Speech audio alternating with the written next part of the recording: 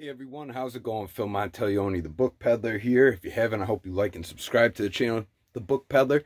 Stay up to date on book picks, in-store, out-store activity, whole mess of stuff. Appreciate everybody who has subscribed, everybody who's been along with me on my journey of book selling. Now this video, this is a second introductory I'm making to this video. So after I clip over, it's going to give the original introduction.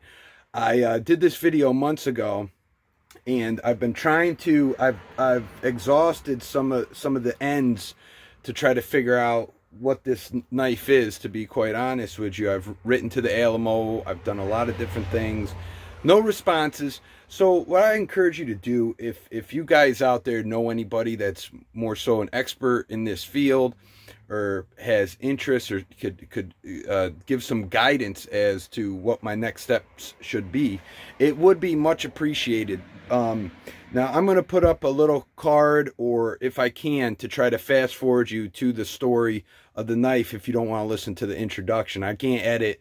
So I did have uh, a part where I showed a couple of my own knives. I shouldn't have done that. It's like 30 seconds, but nonetheless, the video should have flowed right into uh, the, the uh, story of this individual who has had this knife in his possession for quite a while, be believes it to be um, Jim Bowie's knife, and again, I explain a little bit about it in the beginning of the intro and at the end. I have my reservations, but I figure, you know what? Put the video out. Maybe somebody out there could could could help shine a little bit of light on it. And so anyways, I hope you guys enjoy the video and um, you know, feedback's appreciated and you know, say hello if anything else, I guess. Okay, I hope you're all well out there. We'll see you soon. Hey guys, how's it going? Phil Monteleone, the book peddler here. No, this video isn't clickbait. I got a real interesting uh, story to tell, so I figure I share it. I'm out um, back in my bookshop by the trailer. And um, first of all, if you haven't, I hope you like and subscribe to my channel. I sell books for a living, and you stay up to date on book picks and store out store activity, all that kind of stuff. Another thing I've always enjoyed has been antiques. And I used to sell for a number of years. I'm still around a lot of different antique dealers. I've learned a lot about them. And, um, you know, this particular individual that um, I'm going to have you listen to his story, I don't think I'm going to put him on a, a camera, has a real interesting one. He's collected some of the most amazing, has one of the most amazing collections he's assembled of antiques and his background in itself is extremely interesting. I'd like to interview him someday just on that background, but I got to protect his identity a little bit. He's a one of the most fascinating individuals I've ever met. But I decided to just start with this video. Um, so Jim Bowie's knife, right? So it had never been found um, after the Alamo and, and everything. And this man's kind of claiming to have it. Now I know that that it sounds almost too good to be true, but the story is extremely interesting and the knife is extremely interesting as well. And I've been doing as much research as I can. My eyes are like fried watching things and reading things, and I have assembled some names that I'm going to reach out to to try to help me determine exactly what this is. Because in terms of it being actually Jim Bowie's knife from the Alamo, I, don't know the percentage of uh, of uh, you know verification that it would be basically. I mean, how close can you can you get to actually verifying that this would be his actual knife? I don't think you you you really could. But again, I'm gonna have him tell his his story and everything. There, there's been a lot of things. There was a show on the History Channel that I watched that was kind of ridiculous. It was called Jim Bowie's Knife. You know, real or fake with a question mark. And this guy named Cameron found an old knife at a flea market. And so apparently he thought because it, I get he just for whatever reason thought it was Jim Bowie's knife, and it was kind of funny. Um, but uh, I guess he became obsessed with it, and he took a he took a saw to it and chopped it into pieces. I was like thinking, what else is this guy chopped to pieces, you know? Reek, reek, reek. so he's a, he's a real uh, suspect. So they're trying to diagnose the knife. I think they should have been diagnosing the guy's mental state. But uh, if he's watching, please don't come find me, buddy. if you come in my house, you'll be leaving just as quick. I promise you. But uh, anyhow, so they actually in that show found out that the handle on that knife was like forty-five thousand years old and I did not misspeak. That's what they found. It was like a maybe a mammoth uh, a tusk or something. That's how early it dated. So that was pretty incredible. But the fool cut it up for whatever reason because of his obsessiveness. So anyhow hope, hope Cameron's doing good and hasn't done anything crazy lately. So that's basically that's basically um I'm to start you with is we're going, I'm going right now to have lunch with him. I've known this guy for a number of years. Again, has one of the most amazing assembled antique collections I've I've ever come across. And I'm going to get his story on here. I'm not going to put him on film, but I'll show you the knife. I'll let him tell the story basically.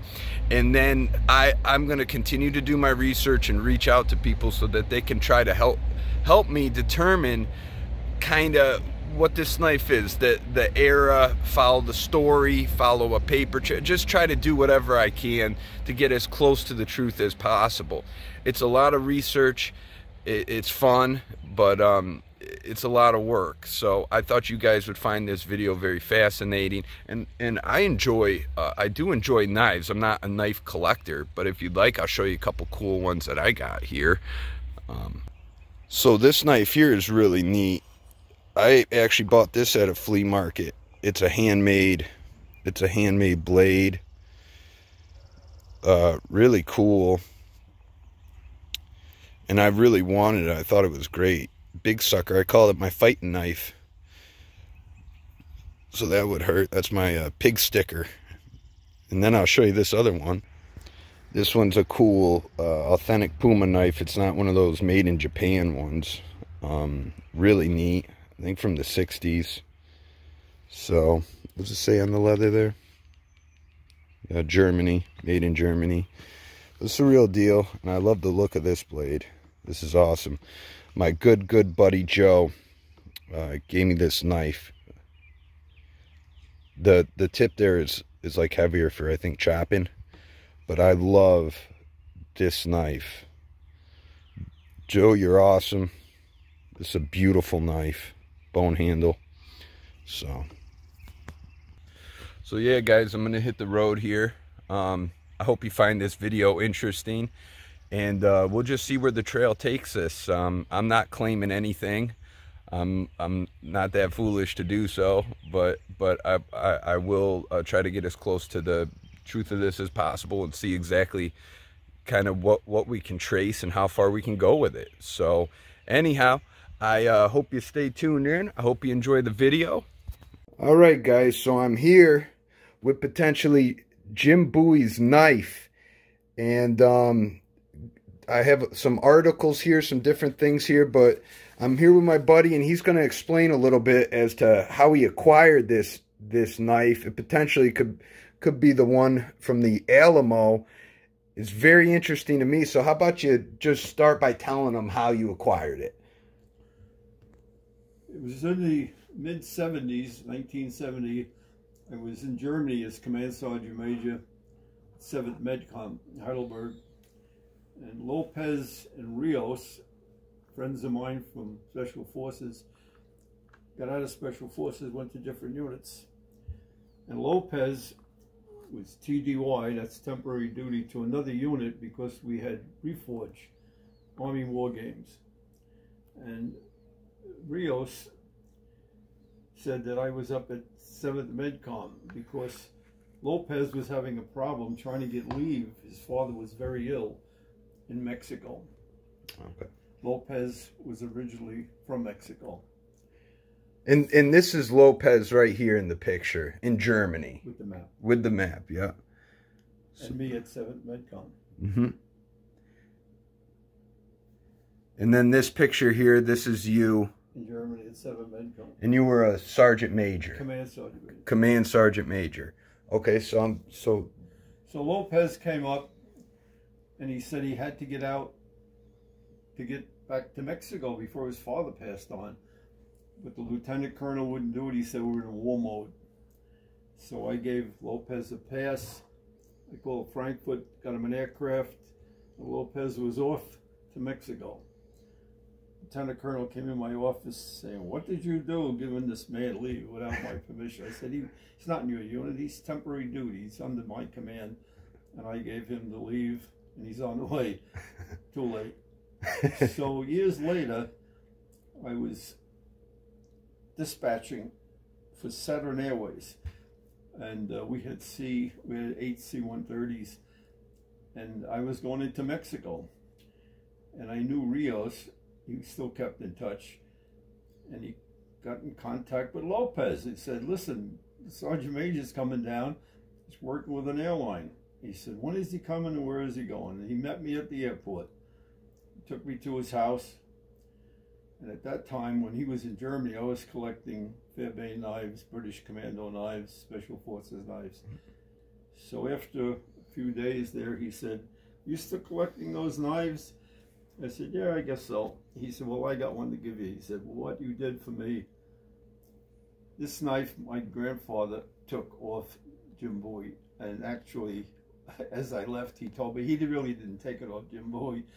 He ran the wagon, the commissary wagon. Mm -hmm. And when Santa Anna was captured, everybody dispersed and he took the wagon home mm -hmm. with all the artifacts and spoils of the Alamo.